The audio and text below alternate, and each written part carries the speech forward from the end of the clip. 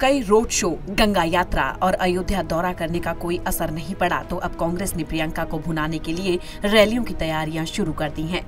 कांग्रेस को जो फीडबैक मिला है, उसके हिसाब से प्रियंका गांधी के रोड शो और यात्राओं का कोई असर मतदाताओं पर नहीं पड़ा है। पहले चरण के मतदान के जो संकेत कांग्रेस को मिले हैं, वो भी अच्छे नहीं हैं। यूपी ही नहीं, कांग्रेस के रणनीतिकारों का मानना है कि अकेले राहुल गांधी, बीजेपी और मोदी का मुकाबला नहीं कर सकते। इसलिए बिना वक्त गंवाए ज़रूरत प्रियंका गांधी की देश भर में रैलियाँ करवाने की है। इसके लिए कांग्रेस में तेज़ी से काम शुरू कर दिया गया है। सूत्र बताते हैं कि प्रियंका गांधी की रैलियों के लिए सीटें छांटी जा रही हैं। उनकी रैलियाँ वहाँ करवाई जाएँगी, जहाँ कांग्रेस का उम्मीदवार मज़बूत होगा। कमज़ोर उम्मीदवार को भगवान भरोसे छोड़कर कांग्रेस जीतने वाली सीटों पर प्रियंका गांधी को भेजेगी। माना जा रहा है कि प्रियंका करीब सौ रैलियों को संबोधित करेंगी। सियासी हलकों में इस बात की चर्चा तेज हो गई थी कि प्रियंका रैलियों और बयानों से क्यों बचना चाहती हैं।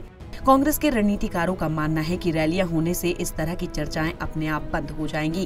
कांग्रेस के जानकार बताते हैं कि पार्टी को राहुल गांधी के मुकाबले प्रियंका से ज़्यादा उम्मीद है, क्योंकि राहुल गांधी बावजूद सबके अपनी छवि उतनी मज़बूत नहीं बना सके, जिसकी ज़रूरत चुनाव जीतने के लिए है।